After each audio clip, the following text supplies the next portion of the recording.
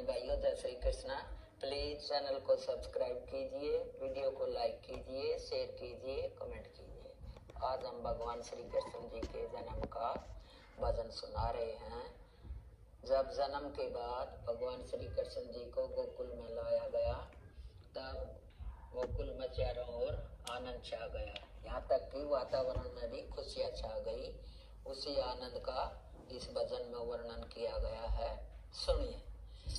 रई बरस घटा गण गो, रे गण गो, रे लिया जन्म श्यामन गोकुल लिया जन्म